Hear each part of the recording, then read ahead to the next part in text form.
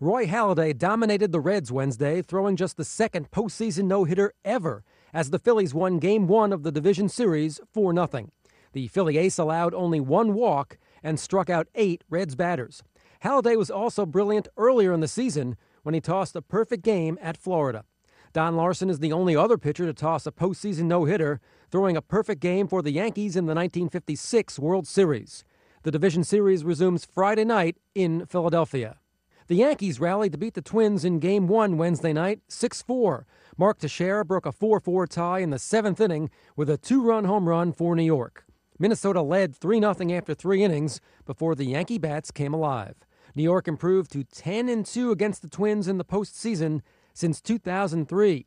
Game 2 is Thursday, also in Minneapolis.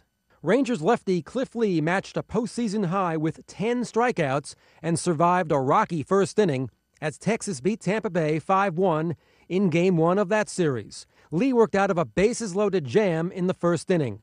But then he was almost as dominant as Halladay, retiring 16 of 17 batters before giving up a home run to Ben Zobrist in the seventh inning.